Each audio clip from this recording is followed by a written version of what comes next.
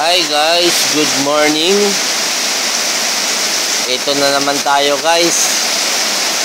Nakaalanganin na tayo guys kasi malakas talaga yung ulan.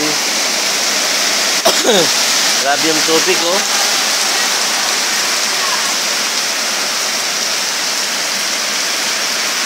Ito po yung epekto ng bagyong Egay guys.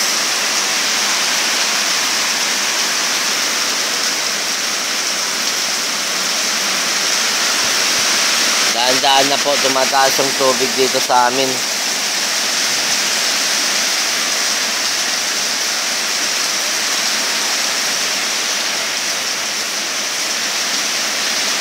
Sabi nila basta puputi daw yung kalangitan guys kaya nito puro ulan daw yan.